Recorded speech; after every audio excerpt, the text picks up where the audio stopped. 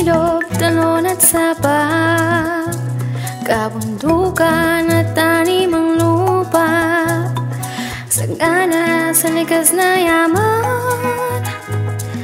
Dito'y ginawang kanlungan Sa pagsilip